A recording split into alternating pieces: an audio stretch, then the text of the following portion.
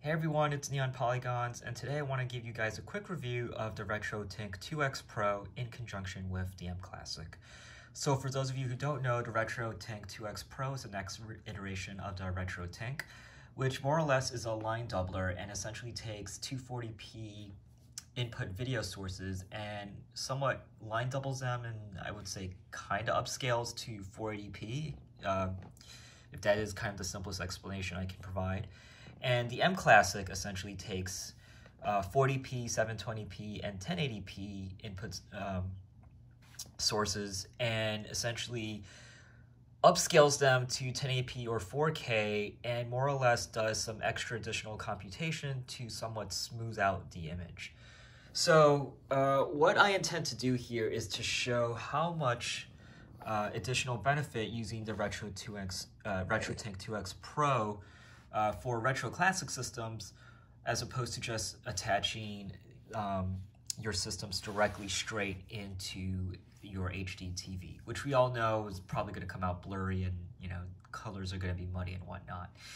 I then want to show how much of an additional benefit attaching the M Classic um, upscaling capability into the RetroTink 2X Pro. So essentially taking um, a 240p source that was then line double to 480p in the Retro 2X Pro, which is then going to be upscaled to 1080p via the M Classic.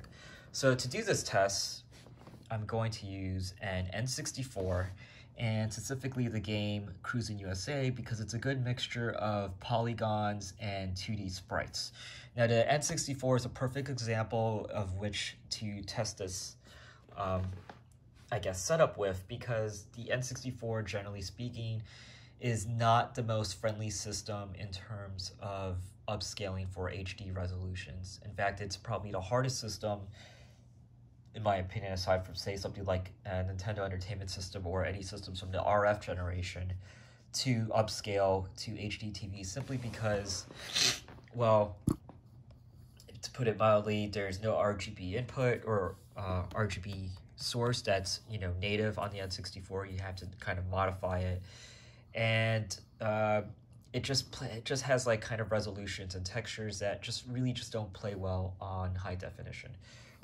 So, uh, so let's get this party started, and I'm just gonna start off with the Retro 2X Pro, taking AV composite from the N64.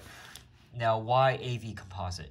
So I actually want to use the worst possible signal I can put into the Retro 2X or RetroTink 2X Pro and show the benefits of what it does to my television screen or to the visual display on my television screen. So I'm going to turn on Cruis'n USA. Okay, hold on. Come on.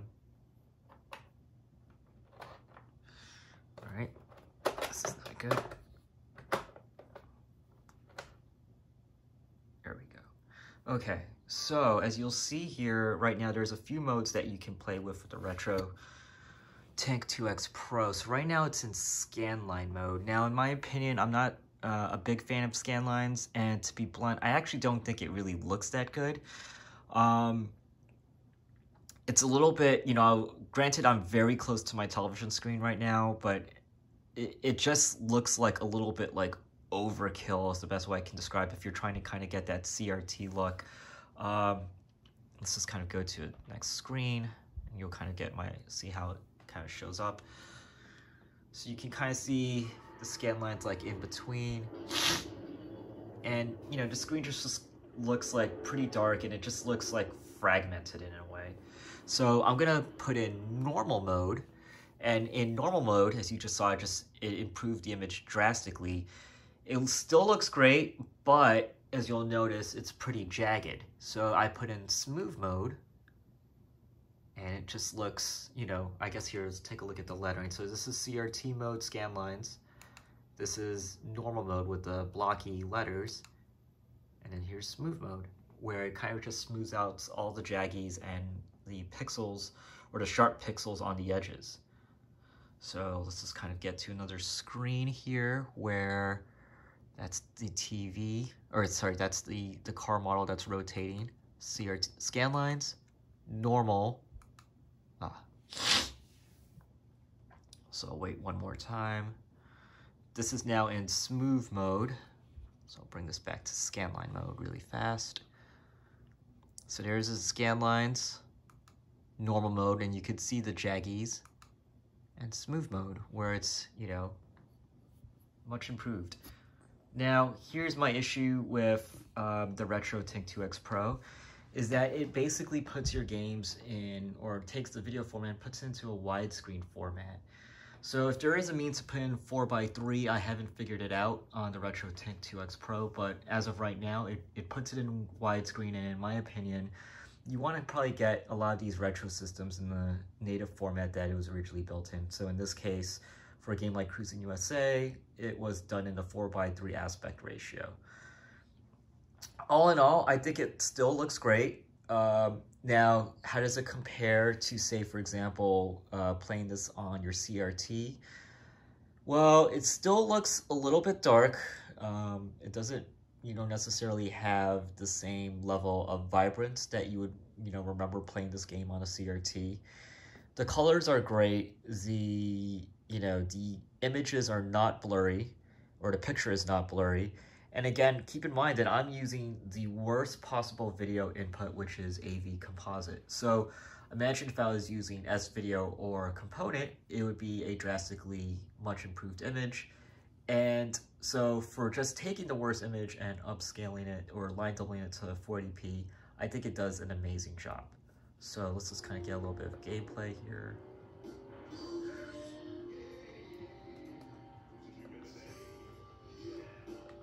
Come on.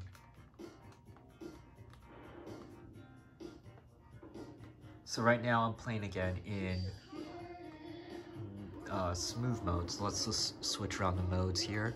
CRT, blocky, smooth. So again, CRT, blocky, smooth. Now the blocky mode is not called blocky, it just means um, normal mode. So it just means like it doesn't do any filtering whatsoever. Uh, but as you can see in smooth mode, it looks great. And as I'm kind of just going around in the game, uh, 2D sprites are fairly well done, and I will say like a lot of the polygon textures that I'm seeing here, um, for the most part are, you know, sharp and, you know, not a muddy, blurry mess. Okay, so that's enough of that. So let's actually try now um, putting the M Classic into the Retro 2X Pro and see what additional benefits it may have.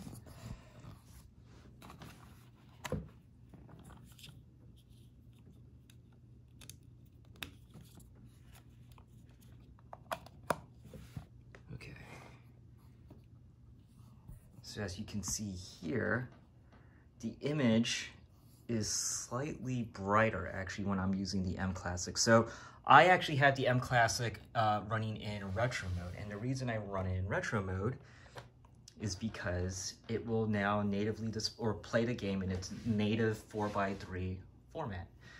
So this is pretty cool because essentially what's happening is N64 240p into the RetroTink at, or RetroTink 2X Pro at 480p line doubled, and then the M Classic is now taking that 480p signal and upscaling it to 1080p and doing additional computation to smooth it out. So what I don't want to do is actually, I guess, play around with all the um, filter modes on the Retro 2X Pro because it could start effing around with the M Classic.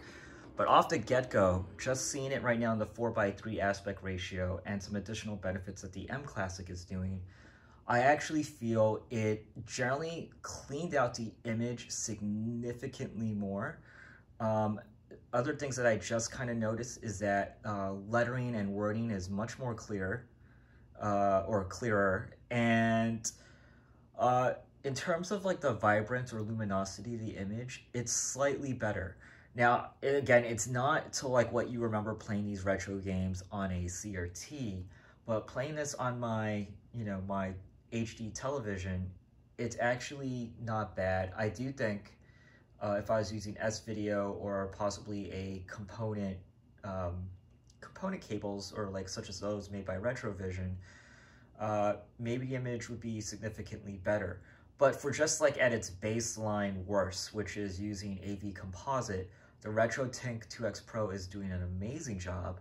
And then additionally, uh, when using the M Classic, it's just like souped up even more. So let's get some gameplay footage in here.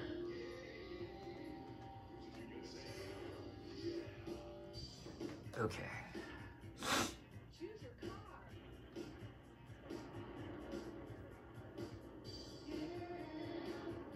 As you can see, like, the image is really smooth. Um, there's no lag, obviously, that's kind of the main draw.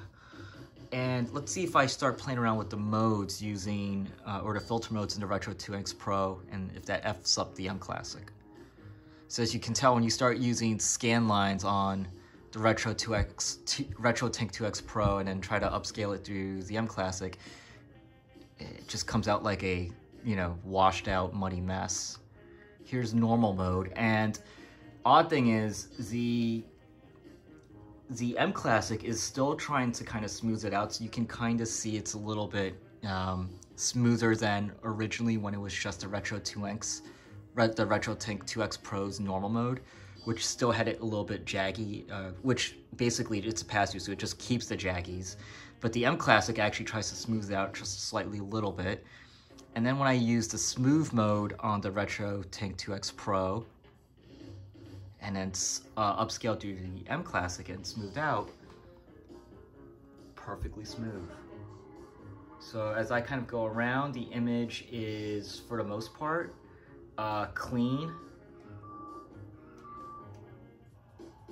Okay, so it's not, again, like I say, like the luminosity and the vibrance is not going to be matching that of, say, like playing this game or playing a retro system on a CRT.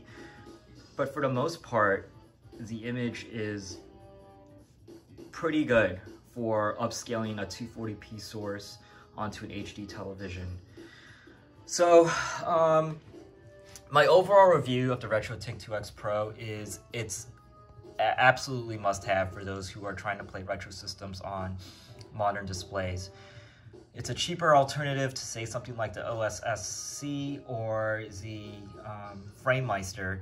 And in my opinion, it's much more versatile because, you know, again, I'm using AV composite here. So even at its worst, using a lot of these retro systems, um, say from like the Super Nintendo, Sega Genesis, all the way to, I guess, you know, previous generation of, um, well, I shouldn't say previous generation. I should say probably like the generations of GameCube, PlayStation 2, Dreamcast, and Xbox. I do think this is a fairly good line doubler to get your games to the 480p format. And even if you do get into 480p format, let, let's say like um, GameCube that component which already put can play games at 480p, um, this does a fairly good job of smoothing out additionally the or cleaning up the image to smooth out the jaggies. Then to add the M Classic, I'm a big fan. Um, you know, again, like it's really kind of hard to see the, the big difference that the M Classic adds. But as you can see uh, in this in this example that I just provided where it cleaned up the image of Cruis'n USA, um, the M Classic can play huge dividends in kind of upscaling um, old retro classic systems when it's in provide when the signal is provided to the M Classic in the right way.